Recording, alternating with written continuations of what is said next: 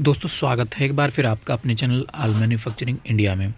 दोस्तों, दिखाने वाले हैं प्लेटेड मेज़ उसको कहाँ पर इस्तेमाल किया जाता है? इंडोर, आउटडोर, मंदिर और किचन वगैरह में इसको किस तरीके से इस्तेमाल किया जाता है? दोस्तों, ये देख सकते हैं आप, ये अगर बड़ी विंडो होती है लाइक अगर आठ बाई आठ की विंडो है या बारह बाई चार की विंडो है तो इसमें क्या होता है कि दो पल्ले का इस्तेमाल किया जाता है।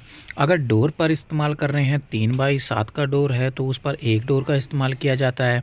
अगर बड़ी विंडो होती है तो उस पर एक डोर का इस्तेमाल किया जाता जाता है। अब यहाँ पर जैसे साइड में देख सकते हैं, इसमें ये एक डोर का इस्तेमाल किया गया है।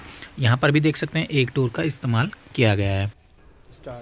अब यहाँ पर भी मैं दूसरी वीडियो में आपको दिखा देता हूँ। यहाँ पर भी एक डोर का इस्तेमाल किया गया है और ये देख सकते हैं, साइड में जो किचन की विंडो, किचन है, ये किचन की विंडो में हमने इस्तेमाल किए हैं। यहाँ पर छोटी भी दिखा दे दिखा देता हूँ।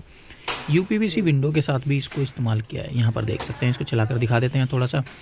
दोस्तों, अगर इसकी रेट की बात करें तो रेट जो इसका जो है, अगर जर्मन प्लेटेड में आप लगवाते हैं तो इसका जो रेट होता है वो दो सौ अस्सी रुपये स्क्वायर फिट इसका रेट होता है।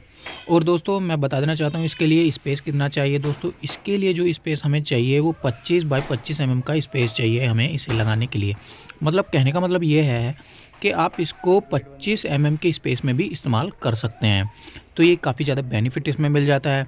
और दोस्तों इसमें जो कि हमारी कलर चॉइस होती है, वो आपको ब्राउन मिल जाता है वाइट मिल जाता है और जो आइवरी कलर भी मिल जाता है। तो दोस्तों, वीडियो पसंद आए तो वीडियो को लाइक कीजिएगा और चैनल को सब्सक्राइब कीजिएगा। तो मिलते हैं नेक्स्ट वीडियो में, तब तक के लिए जय हिंद।